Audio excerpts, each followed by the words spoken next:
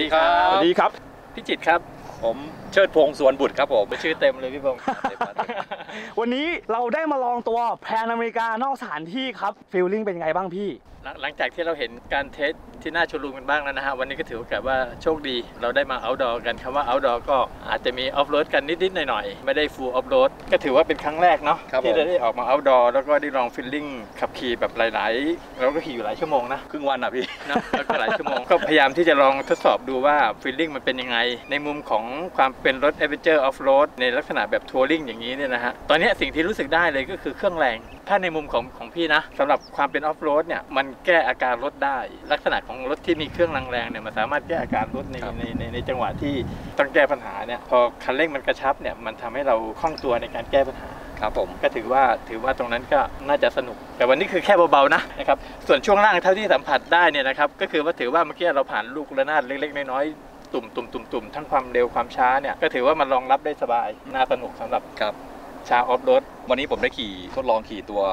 สเปเชียลนะ หลักๆเลยที่ชอบมันมากเลยก็คือโชคไฟฟ้า คือผมน้ำหนักประมาณ 80 อัพขึ้น โดยน้ำหนักรถคันนี้กับโชคไฟฟ้ามันตอบโจทย์สำหรับผม แล้วที่ชอบก็คือเวลาขี่นะมันจะปรับโหมดสูงอัตโนมัติเลยแล้วอีกอย่างหนึ่งก็คือผมชอบตรงนี้เลยครับถังน้ำมันที่เล็กเพรียว คือเราเวลาเราขี่ออฟโรดนะครับมันมันมันจะทำให้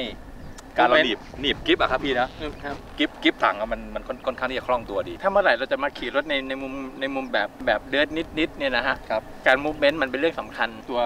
ปีกถังด้านข้างเนี่ยอืมมัน movement ได้ได้ทุกระยะ ง่าย มันก็ง่ายนะครับ control ง่าย เป็นรถ control ง่ายเนาะครับผมง่ายขี่ไม่ต้องปรับตัวอะไรมากมาย ABS นี่เขาแน่นอนเลยนะคันนี้นะ คือจึ๊กจึ๊กจึ๊กจึ๊กจึ๊กจึ๊กตลอดเลย ที่บอกว่า Brembo เขาทำมาให้เนี่ย ตั้งแต่ทางเรียบมาทางตรงมาทางทาง high speed มาแล้วก็มาในทางออฟโรดเนี่ยครับเบรกโอเคเลยอืมเบรกใช่อยู่เบรกเบรกมั่นใจเอาอยู่สบายเอาอยู่สบายมากคันนี้โดยรวมผมว่ามันไม่ได้ใหญ่มากนะพี่จิตรเนาะ control ง่าย control ง่ายแล้วก็ด้วยพลัง 1,250ซีซีโอ้โห กำลังเหลือๆ touring ไกลๆสบายเลย วันนี้เนี่ยเดี๋ยวเราเราได้มา outdoor แบบออฟโรดนิดนิดทำความรู้จักกันแบบนิดนิดนิด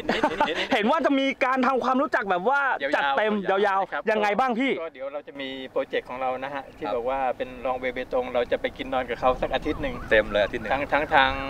ออนรถก็ถือว่าเบตงก็คือไกลที่สุดในประเทศไทยนะ ใช่ใช่ขี่ออกจากกรุงเทพเลยใช่ไหมพี่ ใช่ครับใช่เดี๋ยวเราจะมีการให้ติดตามเนาะ เราจะมีครับเอ็กซ์คลูซีฟติดตามไปด้วย อะ เร็วๆนี้ ก็เดี๋ยวจะติดตามไปที่ AS นะครับผมสันนะครับอะงั้นมีอีกอีกส่วนหนึ่งนะครับ ก็คือตอนนี้เนี่ยอ่าหลายๆคนอาจจะได้ทดลองรถที่หน้าโชว์รูม เร็วๆนี้อีกเช่นกันนะครับ ทาง AAS ก็จะมี demo day ลูกค้าที่อยากจะ test หลาย ๆ ชั่วโมงแบบเราแล้วกันใช่สนใจแบบ test หลาย ๆ ชั่วโมงก็เดี๋ยวรอติดตามหน้าแฟนเพจติดตามกันต่อไปว่าโปรเจกต์ดี ๆ สนุกๆ Long Way เบตงจะเป็นยังไง ขอบคุณพี่ทั้งสองคนครับได้ครับเอ๊ะขอบคุณมากครับ